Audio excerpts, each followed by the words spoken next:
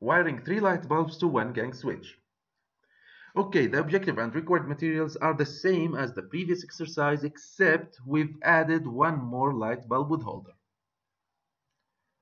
Well, since you need to energize the lights at the same time, so make loops between the three holders as shown.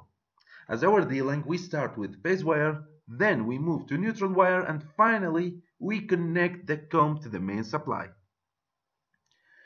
Now choose the nearest holder, connect a red wire from the nearest holder to the L terminal as shown.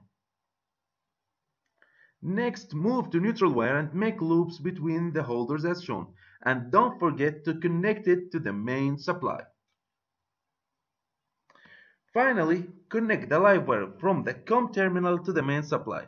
So in this case, the three lights will turn on and off at the same time.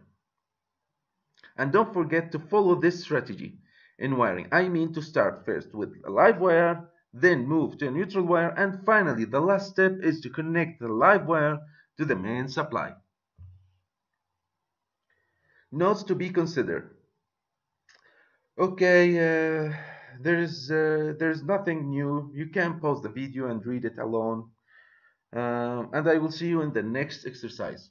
Okay, good luck.